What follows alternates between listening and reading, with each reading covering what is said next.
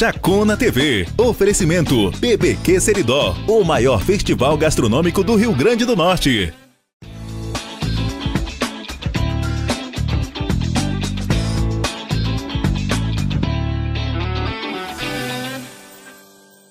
Hoje nós vamos tratar diretamente sobre a sua alimentação. Que você anda comendo? Será que às vezes aquele lanchinho rápido que você faz não atrapalha tanto na sua saúde, mesmo que não, você não veja os resultados na hora? Isso tem influência sim sobre a sua saúde. E é sobre isso que nós vamos falar aqui hoje com duas irmãs Barra Pesada. Minha gente, tenho orgulho de apresentar para vocês essas duas. Valéria Maris, nutricionista, que já é participante aqui do nosso programa de longa data, né? E hoje com a irmã dela, Valênia Maris, que é, é engenheira de alimentos, né? E é especialista também na administração industrial, também ligada a essa área de alimentação, como a irmã Valéria. Então, eu quero primeiro dar boas-vindas à Valéria, que já é de casa. Valéria, bem-vinda ao nosso programa. Boa tarde, Merielle. Boa tarde a todos que nos assistem. É sempre um prazer estar aqui.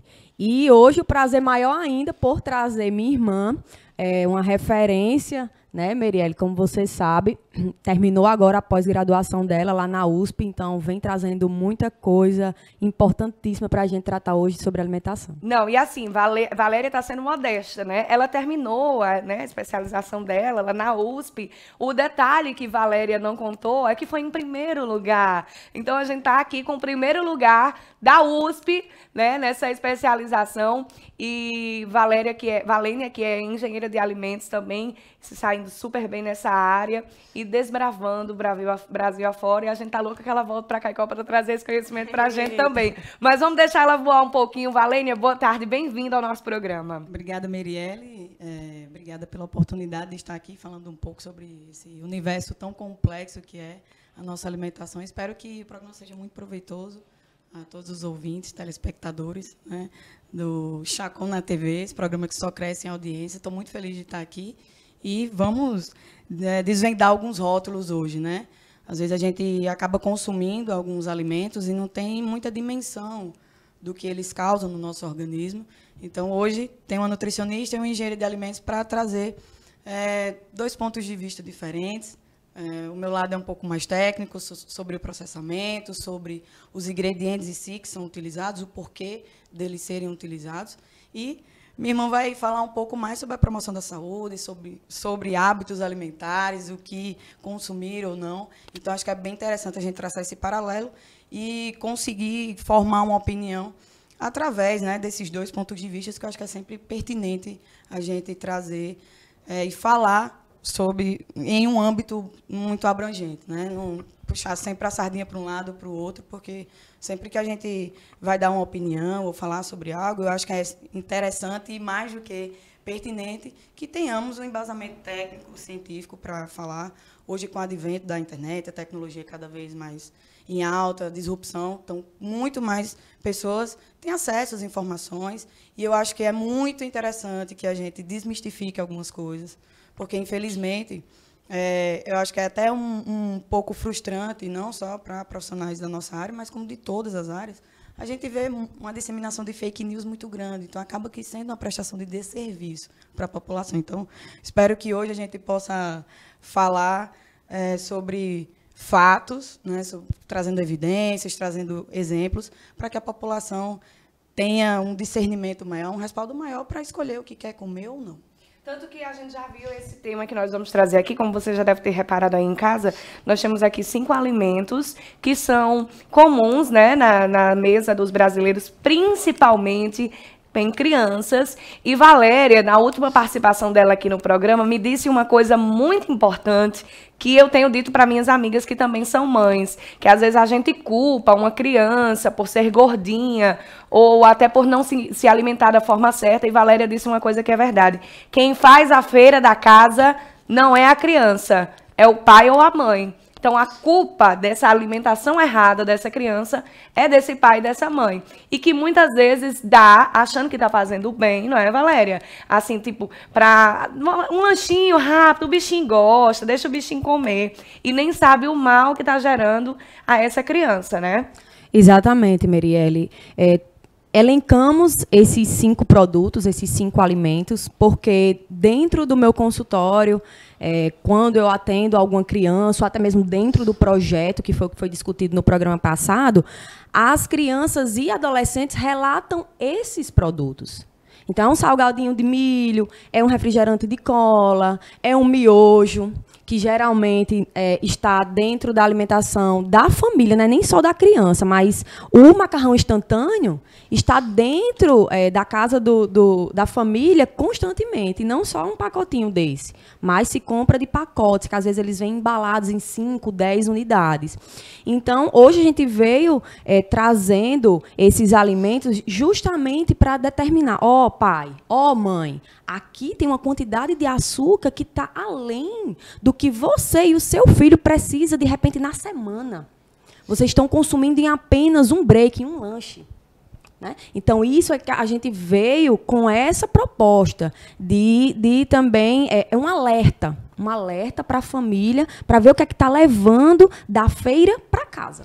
E tem que lembrar também que, claro que a gente não está aqui denegrindo nenhuma marca, até porque a gente fez questão de cobrir os, as marcas, Exato. não para você de casa não identificar qual é o produto, que continua tendo fácil identificação, mas para você, é, para respeitar as marcas, na verdade, que produzem os seus trabalhos, que a gente respeita, e também, Valéria, não é nem dizendo assim, você não pode comer Exato. isso que vai te matar, na verdade, é bom evitar Exato. ou consumir moderadamente moderadamente, não é isso? Com certeza, com toda certeza. Não estamos fazendo apologia a marcas, né?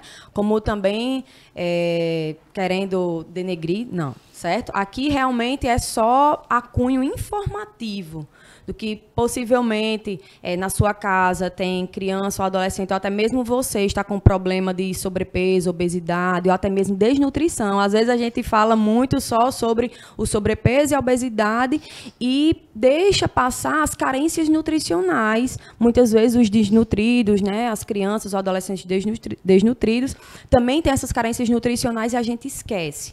E às vezes, o que é que está acontecendo? A alimentação está sendo rica nesses produtos o quê? Industrializados. São as chamadas falsas calorias, é o que a gente vem trazendo aqui. A grande quantidade de açúcar, grande quantidade de sal e de gordura saturada. Então, realmente temos que ter um cuidado. Mas, obviamente, tudo na vida é equilíbrio, né, Meire? A gente já tratou sobre isso aqui. Equilíbrio tendo uma vida balanceada, equilibrada, você pode perfeitamente no final de semana tá fazendo é, esse tipo de alimentação, tá fazendo parte da sua vida. Bacana. Valênia, antes da gente começar a mostrar caso a caso, é muito comum que a gente vá fazer a feira e no máximo o que olhe, quando é muito atenta, é a data de validade. Mas nunca, eu pelo menos nunca me peguei lendo um rótulo de um produto para saber do que ele é composto, para saber o que ele tem e entender até o que ele ele significa. É importante a gente fazer a leitura do, dos rótulos dos alimentos que a gente consome? Muito importante. Na verdade, é, a Anvisa ela tem uma série de normas, é, sobretudo para essa parte da rotulagem, e é, o produtor, né, digamos assim, a empresa, ela tem a obrigação de trazer alguns itens em, a caráter informativo. Tudo isso para ajudar na tomada de decisão do consumidor. É, então, é, itens como a definição do produto, é, o que é? Ah, isso aqui é bebida láctea, sabor chocolate. É, qual a, o prazo de validade? Ah, válido até 25 de 4 de 2019. É, a origem desse produto, quais os ingredientes contidos nesse produto.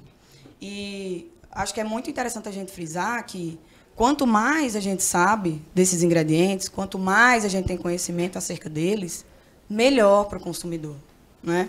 Então, no, na lista de ingredientes, sempre o primeiro é o que tem em maior quantidade. Está né? é, tá em ordem decrescente a lista dos ingredientes. Então, isso é uma coisa interessante da gente pontuar, porque às vezes eu vou comprar um produto integral e o primeiro item lá da lista de ingredientes não é farinha integral ou qualquer outro grão integral é, farinha de trigo branca, por exemplo. Não que isso descaracterize, porque hoje a legislação é, permite que, tendo, ele não especifica a quantidade de farinha integral, ele apenas diz que deve conter.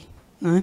Então, mas você pensa, poxa, se, se eu tenho duas opções, o primeiro, a, o primeiro ingrediente é farinha branca e o segundo e, e eu tenho outro que o primeiro é farinha integral, então muito provavelmente O de farinha integral é melhor. Sim. né? Então, é, são essas pequenas coisas que é muito pertinente a gente saber e passar para o público. Porque, poxa, se eu tenho essa opção, a- claro, às vezes pode variar o preço, a marca, enfim, mas eu saber disso já é um fator preponderante. Como você me relatou aqui nos bastidores. Ah, mas o que é esse glúten? Que tanto se fala do glúten. e tal. O glúten é. O glúten tem que estar. tem uma informação do glúten, logo. Não sei se vai ter como No salgadinho, eu acho que Dá dá uma- pra gente ver melhor. focar aqui, mas sempre depois da lista de ingredientes, a gente, a gente não, as empresas, elas devem colocar se esse produto contém ou não glúten. Em 2003, eh, foi entrou em vigor a lei 10.164, que é a lei do glúten, né, popularmente conhecida. Então, depois dessa lista de ingredientes, tem que estar contido, tem que estar disposta essa informação se tem ou não glúten. Isso porque existem muitas pessoas que têm a doença celíaca. Né? Então, é no intuito de eh, corroborar com a saúde dessas pessoas, porque elas não podem, de maneira alguma, consumir essa proteína. Né? O, o glúten é uma proteína, é um compo- uma composição de proteínas, né? formada pela glutenina e a gliadina, e que ela é muito utilizada eh, nesse setor de panificação, de massas, salgadinhos. E ela está presente no trigo, no centeio, na cevada, ou seja, tudo que faz parte da base da nossa alimentação, da cadeia alimentar. Algumas literaturas falam da aveia, mas a aveia naturalmente não tem glúten. Ela acaba que tendo glúten por contaminação cruzada, seja no período da entre-safra, porque geralmente ela é plantada com esses outros grãos, ou na hora do processamento, porque geralmente a mesma empresa processa os diversos tipos de grãos, então essa contaminação cruzada é muito fácil, ela acontece pelo ar. Então, é necessário ter essa informação para essas pessoas que têm essa alergia, né? tem essa patologia. E, em 2015, a RDC 26 veio para complementar a RDC 259, que é a da rotulagem geral, que também eh, a empresa deve ser responsável por avisar se tem eh, uma, eh, algum outro produto ou ingrediente ou derivado alergênico. Lá tem um, disposto uma lista, e aí entrou leite, ovo, Soja. crustáceos, soja, porque esses produtos também têm uma, uma alta carga alergênica. Então, depois da lista do dos ingredientes, sempre vai ter contém ou não glúten e contém ou não algum desses outros produtos que tem é, esse esse maior, a maior tendência alergênica. Então, assim, quando a gente conhece mais sobre os produtos, tem essa capacidade um pouco mais crítica de ler os rótulos, então você tem esse poder de decisão, dizer, poxa, eu não quero consumir isso. Bacana. Valéria, eu queria saber é, por que, que hoje a gente tem tanto, um número tão grande de pessoas com essas intolerâncias, com essas alergias a, a- ao glúten, principalmente. Eu tenho vários amigos que têm alergia ao glúten intolerância. Por que esse número maior de pessoas e até de crianças com intolerância à proteína do leite, né? A lactose também. Por que esse aumento? É, Merielle, é o seguinte, os estudos ainda são incon- inconclusivos, né? Ainda não se existe uma definição. Ah, as crianças hoje em dia estão nascendo mais intolerantes devido a isso, isso e isso. O que é que acontece? Alguns estudos mostram que é devido, possivelmente, à exposição a esses produtos industrializados, principalmente. O que é que ocorre hoje em dia? As pessoas estão cada vez mais eh, ficando com disbiose. O que seria essa disbiose? Seria má absorção intestinal, seria alguma doença relacionada ao intestino.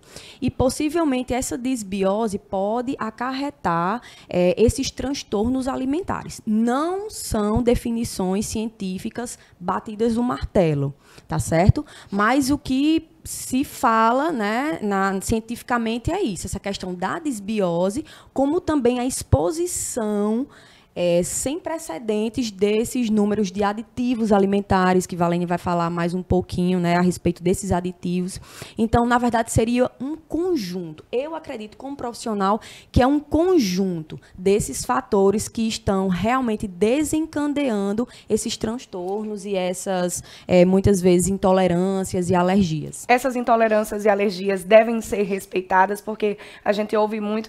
Ah, no meu tempo, criança tomava leite e não tinha problema problema nenhum. Nasci, me criei tomando leite de vaca, nunca tive nada. Vai tomar, que eu nunca morri, não vai morrer também. A gente ouve muito sobre isso por pessoas que não conhecem bem das intolerâncias. Elas devem ser respeitadas? Sim, com certeza. Hoje em dia existem vários tipos de exames, exames bi bioquímicos, né, IgE, ou até mesmo você pode fazer exames específicos. Ah, eu sou, eu tô com alergia à banana. Eu acredito, na minha alimentação tem banana e sempre que eu como eu estou sentindo algum desconforto ou aparece algumas manchas na pele. Então, hoje em dia, especificamente existe é, exames que comprovem se você é não é ou não alérgico a esse tipo de alimento, a essa banana. Então, deve ser respeitado, você deve procurar uma ajuda de um médico, tá certo? Para ele fazer essa solicitação, para fazer uma investigação. E aí sim, o médico vai decidir qual a conduta. Mary, hoje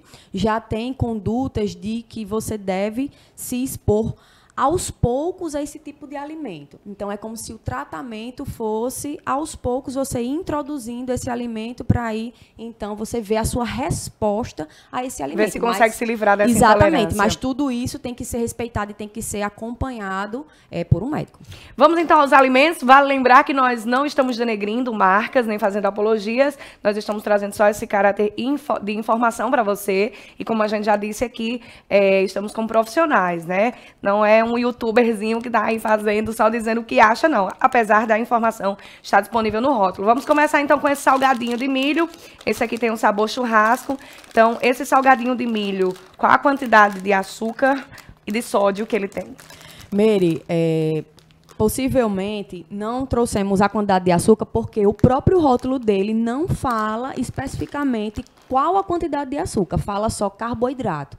Então a gente não tem como detectar o quanto de açúcar que tem. A gente quis trazê-lo porque é, ele tem, além da quantidade de carboidrato, um pouquinho acima de 17 gramas. Possivelmente a gente acredita que 15 gramas aí seja de açúcar, de açúcar, mas não podemos comprovar porque realmente ele não diz no rótulo, né? Então a gente tem que respeitar a informação nutricional do fabricante.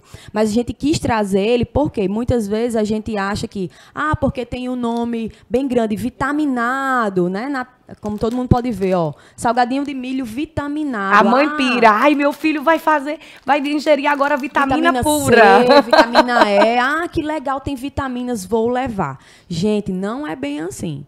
É, você pode. Pronto. Até mesmo na tabela nutricional, certo? Fala, ó que existem umas quantidades aí, tá certo? Mas essas quantidades, pessoal, é, são irrisórias se a gente for comparar com uma fruta, com uma salada na sua mesa, com um suco de fruta. Então, essas vitaminas aqui, certo, vamos considerar, mas é completamente irrisório se a gente for realmente comparar com um alimento, um alimento puro na sua mesa, uma fruta, uma verdura. Tá então, troca esse salgadinho vitaminado por uma maçã, Exatamente. Né, por uma fruta, por Exatamente. um cachinho de uva, que vai valer muito mais a pena. Com certeza. Macarrão instantâneo, de qualquer marca. Ai, gente, eu adoro, não vou mentir. Eu disse que elas vieram acabar com a minha vida, porque eu, eu consumia todos esses produtos, mas vamos evitar. Enfim, o macarrão instantâneo. Pois é, esse saquinho que a Merielle está segurando, ele tem 4 gramas de sal. Tá certo, pessoal? 4 gramas de sal. Ah, Val, mas é pouco, né? 4 gramas. Gente, sem falar que esse macarrão, ele é pré-frito tá certo? Ele já ele tá aqui nessa embalagem, por isso que ele só demora três minutinhos para ficar pronto, porque ele já está pré-frito, ou seja, já passou por algum tipo de gordura. Além disso, tem os 4 gramas de sal. E sabe quanto é que a Organização Mundial da Saúde preconiza para a gente consumir ao longo do dia? 5 gramas. Então quer dizer que eu comendo só um bichinho desse, eu já estou comendo a quantidade de sal Quatro. quase toda de um dia. Exatamente. Exatamente. Gente, Sem contar nos aditivos que Valene vai contar. Você aí. imagina o seguinte: você faz um prato de macarrão em casa. Só para você, você colocaria essa quantidade de sal no seu macarrão? Exato. A pergunta é essa: você colocaria? Sem contar que ele tem uma digestão muito mais demorada, não é isso? isso. E Valênia vai falar um pouco sobre os aditivos que tem nele. É, assim, antes de mais nada, eu queria falar que os aditivos alimentares, eles, eles têm um propósito. Né? Na indústria, eles servem para melhorar, seja o aspecto visual, cor, aroma, sabor, aumentar o shelf life, né, que a gente chama que é o tempo de vida útil de prateleira. E é, eles, graças a esses aditivos, hoje a gente não sofre mais com fenômenos de botulismo, surtos de botulismo. É, a gente tem a opção de estocar alimentos, de ter essa versatilidade, de não precisar ir todos os dias ao supermercado, porque é, morando aqui em Caicó, uma cidade menor, é, a gente ainda tem essa possibilidade. Ainda talvez seja viável você ir todos os dias ao supermercado e optar por produtos minimamente processados ou naturais. Mas imagine você morar numa cidade grande, quando você tem um tempo muito curto para fazer suas refeições. Então, eu sempre costumo trazer os dois lados. Eu não defendo nenhum. Eu sei os malefícios e os benefícios.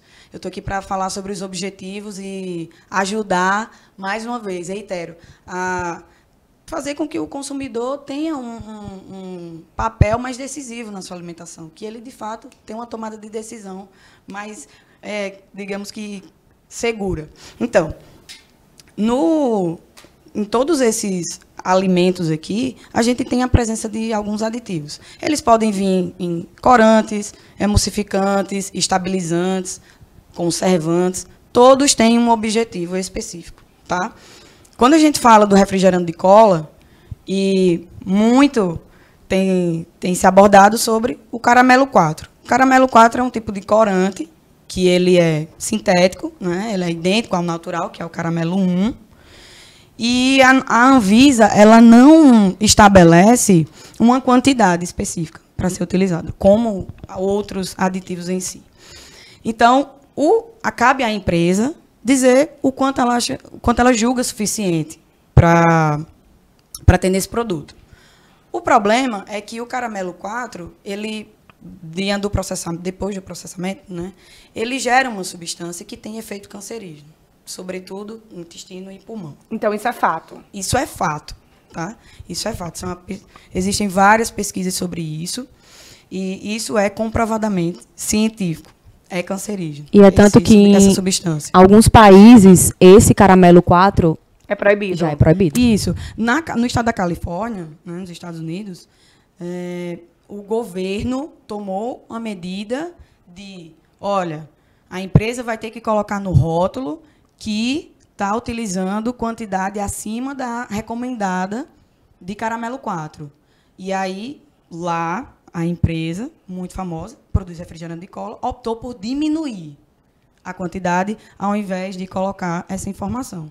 Mas aqui no Brasil, é, infelizmente, o, o, índice de caramelo 4 utilizado nos refrigerantes, não só de cola, é, é um dos maiores do mundo.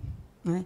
A Anvisa, mais uma vez, diz que essa quantidade ela ainda não é, é pouca, ela não é nociva à saúde, enfim, que os consumidores não devem se preocupar. Fora do Brasil é, aqui não. Existe sempre essa Ô, brasileiro! Poxa, mas por que que se faz mal em algum momento? Por que colocar? Né? É, vamos, por que não utilizar de outro, de, de outro aditivo? Mas aí existe uma série de prerrogativas, né? Custos, facilidade, enfim, o caramelo 4 ele é muito versátil, tanto o 3 como o 4. E ele está presente não só nos refrigerantes de cola, mas refrigerantes de Guaraná, tabletes de temperos prontos, caldas de, de bolos, de sorvete, de iogurte. Então, é muito interessante e muito importante que sempre que você puder dar uma olhadinha, se tiver o caramelo 4, Evitar, ou aproveitando, se tiver nitratos e nitritos, que também tem comprovadamente atividade cancerígena, evitar.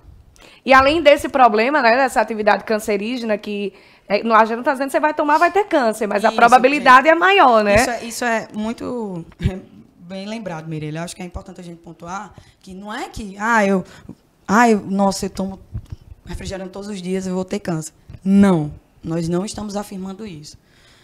O que nós estamos dizendo é que existe uma substância presente no refrigerante que tem atividade cancerígena. Então, tá? além dessa atividade cancerígena, temos também uma grande quantidade de açúcar. É, essa quantidade aqui, Valéria, 37 gramas, é só o que tem nessa latinha? Só na latinha, certo? E aí o que é interessante é que a latinha tem 350 ml, tá certo, gente? E a porção aqui, é, como vocês podem ver, realmente está para os 350 ml, tá certo? Então, diferentemente do biscoito recheado. O biscoito recheado, na informação nutricional, a porção são três biscoitos, tá certo? Três biscoitos. Mas vem o quê? Quase, acho que vem 14 biscoitos aqui. Então a gente tem que se atentar a isso também, que às vezes a informação nutricional está para a porção, que é determinada por lei.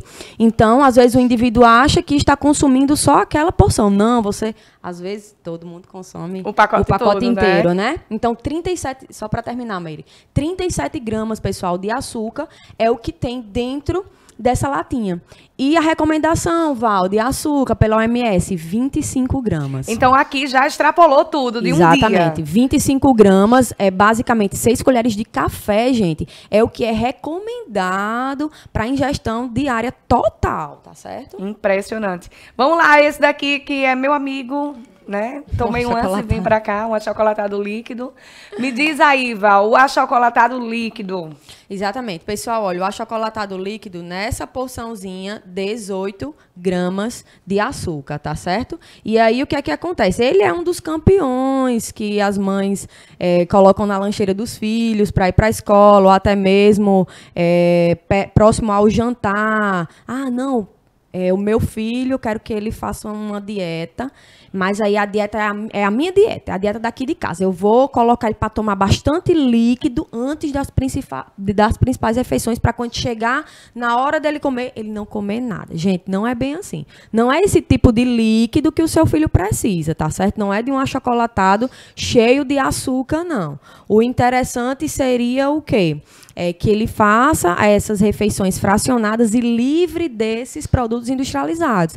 Val, mas aí o que é que pode estar substituindo? Ora, um leite desnatado ou semidesnatado para iniciar, tá certo? Com um cacau.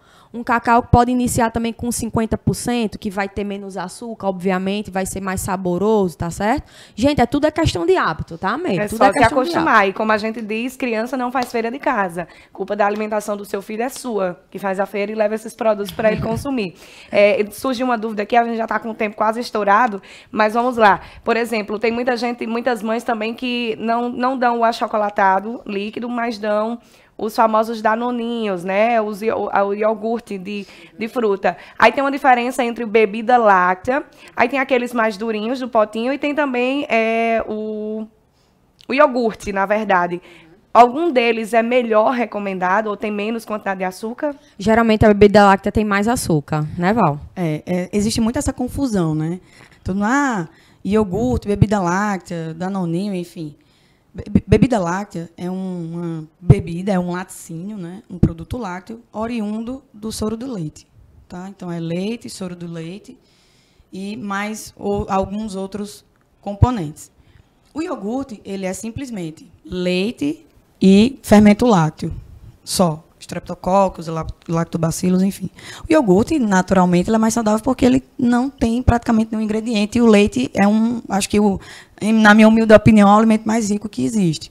Então, se a gente for optar por um dos dois, Seria o iogurte mesmo. O iogurte. Exato. É, E aí tá fácil na identificação de todos Sim, os rótulos. sim. Tem lá bebida láctea e iogurte. E, Com certeza. e existe, inclusive, uma, um- na legislação, uma nota de que os fabricantes devem colocar bebida láctea, não é iogurte, no rótulo. Então, já para o consumidor não se enganar, porque de fato tem algumas bebidas lácteas que, que têm uma consistência mais Cremosa. pastosa, mais cremosa. E que se passam por iogurte. Isso, induz o consumidor a pensar, ah, não, é iogurte. Mas quando você vai ver ali a lista de ingredientes, tem de mais de 15, né? E, e aí tem uma série de corantes, açúcares, enfim. O que não é tão interessante para a alimentação, nem, nem dos adultos, criança, nem, nem tampouco das certeza. crianças. E aí, para fechar, né, essa Campeão. sequência de, de, de alimentos, o campeão mais fácil de, de, de consumo, mais gostoso, todo mundo gosta, é biscoito recheado. Exato. Biscoito recheado parece ser o grande vilão. Olha a quantidade de açúcar que tem nesse pacote. Exatamente, pessoal.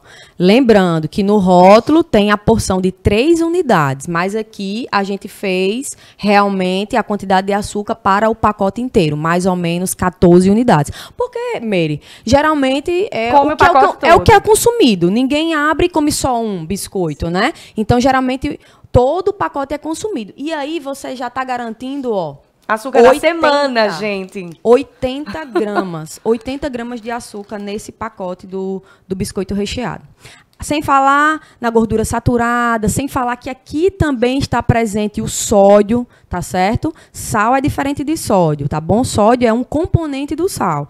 E o sódio, a gente só. É, o que a Organização Mundial da Saúde preza é o consumo de 2 gramas de sódio diariamente. Então, assim, em 5 gramas, né? Nesse pacotinho aqui já tem praticamente os 2 gramas de sódio, Meire.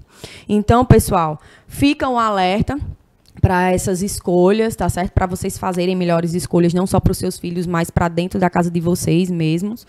E eu espero que, que tenha sido interessante todos esses fatos que a gente abordou aqui. Com certeza, muito interessantes e muito orgulho, né, para nossa cidade. Temos duas irmãs tão profissionais nessa área que vem se destacando, cada uma no seu campo.